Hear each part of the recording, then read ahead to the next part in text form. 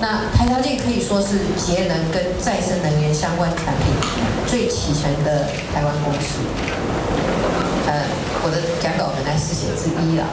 好听话说在前头，蔡总统姿态放软，特地走访台达电，要将能源政策说个明白。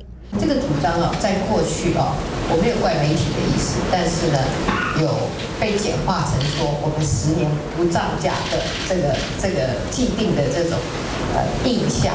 当着台达电创始人郑崇华面再说一次，还在郑崇华致辞时刻意侧着坐，仔细聆听，盼从了解走到和解。由于蔡英文去年竞选时喊话十年内电价不会大幅调涨，郑崇华当时就说不会投给不涨电价的候选人，被质疑是暗批蔡英文。我们所有的电源也好，都是从外这个没了，各方面都要从外地来。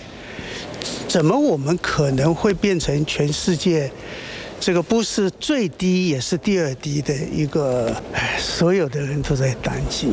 郑春华质疑台湾凭什么电价世界最便宜？蔡英文列举三大理由，包括落实节能、提升用电效率，未来绿能技术规模更成熟，成本就能跟着下降。第三，则是修改电业法，让电价更透明。积极投入的步骤，第一个是节能。第二个是储能，第三个是创能，也就是再生能源的投资，第四个是系统的整合。